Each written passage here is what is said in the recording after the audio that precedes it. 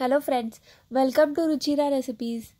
Today's recipe is roasted Brussels sprouts. They are charred and crispy outside and tender inside. These crispy bites can be served as an appetizer or can be enjoyed as a healthy snacks.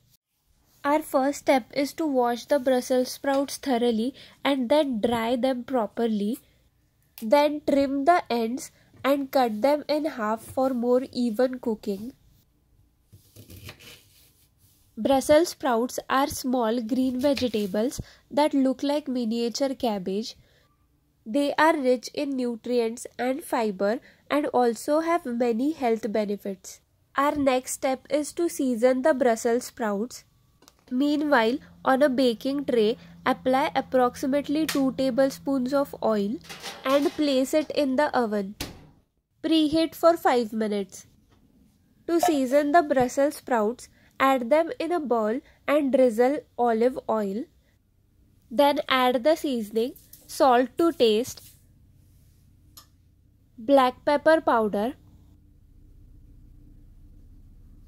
Also add some paprika or you can use red chili powder.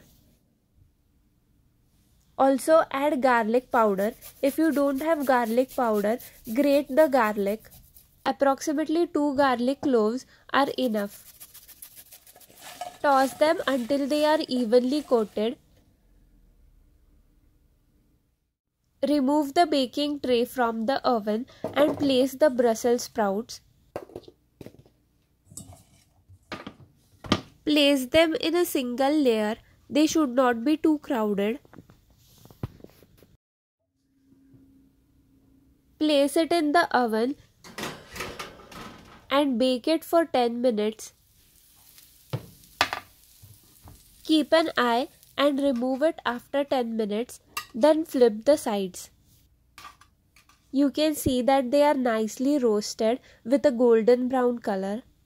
I am purposely not using the parchment paper or butter paper in order to get the charred and crispy texture. Now again place it in the oven for 10 minutes.